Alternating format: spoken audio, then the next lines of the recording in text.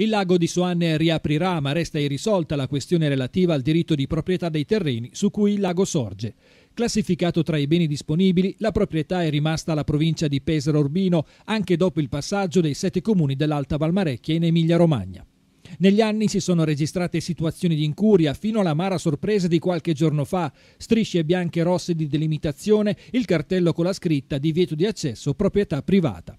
La mancanza di manutenzione ha aggravato la situazione del pontile e della staccionata che delimita il lago, così da Pesaro si sono limitati a vietare l'accesso. Noi come comune ci siamo dovuti accollare eh, la manutenzione ordinaria attraverso un comodato gratuito che rinnoviamo tutti gli anni, e però la, la, proprietà è rimasta la provincia di Pesaro, che a questo punto non fa più le opere necessarie, ad esempio abbiamo un ponte eh, in gravi condizioni che è stato chiuso. Ora il comune di Pennabilli ha trovato un nuovo accordo con la provincia di Pesaro per accollarsi anche le spese relative alle utenze della luce pubblica, quanto richiesto come condizione per la riapertura, ma la vicenda non finisce qui. Noi abbiamo bisogno di una progettazione seria per il lago di Andreuccio perché abbiamo tutte le stazionate da rifare, gli edifici in condizioni eh, non proprio idonee e quindi come Comune stiamo eh, preparando un'idonea progettazione per poter, da poter presentare in Regione e per poi avere eh, finanziamenti anche, speriamo, attraverso il parco interregionale che si costituirà ufficialmente la prossima settimana. La proprietà rimane alla provincia di Pesaro. L'ex assessore Leonardo Sacchetta ha promesso forti azioni dimostrative. Il suo timore è che nelle Marche si pensi di cedere il bene ai privati.